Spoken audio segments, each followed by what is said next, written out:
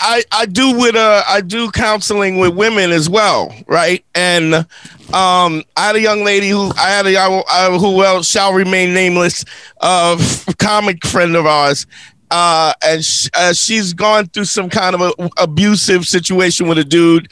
Guy was very emotionally abusive, and then he got this. He cut her off, and then she she kind of kept calling him, even though they had a screwed up thing. So it kind of signaled to him that she didn't feel like she had any value, like she was more into him than she was, and he just kept taking advantage of it. And when I I said to her was, you know, the the analogy I use is like if you're like if you look at somebody like Harvey Weinstein, who took advantage of all these women, right? Whatever. But I always say this: What kind of boss do you think he was for dudes? He was an asshole on every level of that. You know what I mean? So there's a situation where where the, the, just because there's not that sexual element, people who are abusive are going to be abusive anyway you know, and there's no, and, and I think people keep acting like they're, uh, that they don't know what's happening and so they don't have to be culpable for what they do. And i and i said to her, i said to her you're with this guy who is abusive. He's been abusive to you. He's been abusive to his girl before you. He's been abusive to the girl after you. If you are still communicating with him you're going i'm okay with the abuse doesn't matter yeah, what you say up front it just your action yeah, no, you're tacitly um, condoning the behavior. Right. And exactly. I, th- I think what's so strange too, and you know, this is what's so muddled about the Me Too of it all. And I actually had a conversation with Louis C.K. about this. Yeah. Because he had, and he's dealt with all this stuff in his special, but, um, you know, he he kind of, if you look at the facts of the matter, he sort of asked permission to do this yeah. thing, and then years later they come back and say, you know, this isn't okay, and um, you know, this wasn't okay with me. Well, the thing that I've talked to people in Hollywood about when it comes to Weinstein, uh-huh. which you know, there's just too much there. He's he obviously he was. There's actually a, the smallest museum in New York City. It's called the Mmuseumm, um, and um, it's just museum with an extra M on the front uh-huh. at the end.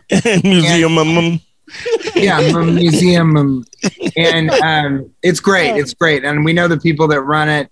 And uh, it's just it's the size of a freight elevator, but it's called object journalism. And um, excuse me. So what um, is so amazing about that? It's on. It's it's in a place called uh, Cortlandt Alley. Cortlandt so it's kind of it's kind of near Chinatown. It's in that area of downtown. And and that's great. And um, you can online now. They're having like appointments, and they have a copy of a letter that Bob Weinstein wrote Harvey Weinstein, and he right. talked about sort of this isn't okay, and you've been verbally abusive, you've been physically abusive to me, and you know your anger is kind of created, and so that's what it is. Is you can allow a culture of abuse if you sort of you know even just by ignoring or not confronting someone's abuse, yeah, you're saying to them, hey, that's okay. It's fine. It's fine. I mean, what comes out of your mouth, you got to always go by what somebody's actions. The thing it gets me is this lack of culpability. It's there's I absolutely, you know, I'm, I'm not somebody that says that I don't understand the toxicity of what was going on. I'm a black man in America. So if anybody understands people having a particular culture and perpetuating that culture, that's what it is. But you still can't go, you can't go, um, I am an adult and I wanted to be I want to be treated like an equal and then have no culpability because you didn't open your mouth and say I don't like this or this is not okay or whatever. Where and there, there has to be some kind of onus on that. I think that's absolutely right. Hold on one second. These motherfuckers.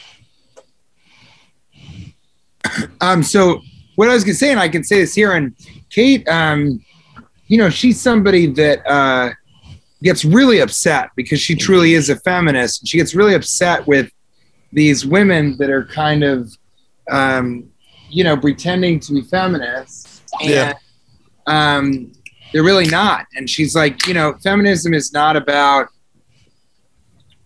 down with the patriarchy. It's about how do we achieve equality? Right, And- exactly. And equality is not, I'm exactly equal to you. I should have all the opportunities you have. I should get exactly what you get.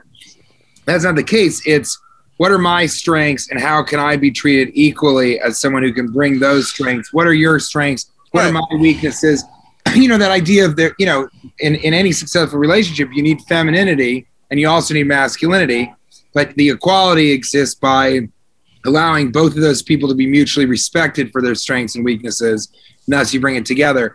As far as the Weinstein thing goes, and it's good kind of that um, you know, this is a safe space to talk Yeah. about this. Yeah. But along the lines of what you're saying, you know, these women come to my um my hotel room, you know, and him sort of them saying he's forcing himself on me Right. um, to give me oral sex, which is a strange thing to kind of force onto somebody, is giving Right. them oral Yeah. sex. And Louis said something interesting, which was, you know, he said, I don't, I don't, I don't know about any of this stuff. There's no deposition, there's no tapes, none of this has been examined in the court of law. So he's like, nobody knows what happens there. And I think in Hollywood, a lot of people kind of quietly are saying, you know, these women, you know, there's a lot of things that women will do in the business to get that part. And Harvey Weinstein is not just a guy who can put you in an X Men franchise. Right. He can get you an Oscar. And so a lot of people would, would pursue that and Right, right. There- I there. think there's a, I, and that's something that I say all the time. There's a No idea. spectrum. There, is Yeah. there's definitely some girl who came off a farm from Oklahoma and has no idea what those what those cues are.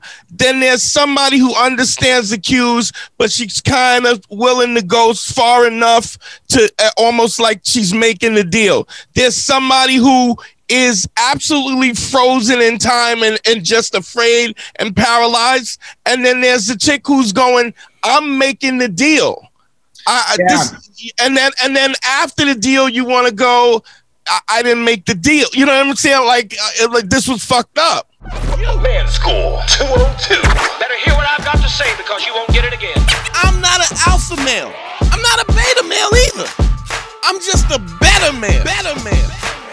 happiness first, because if you don't, they won't.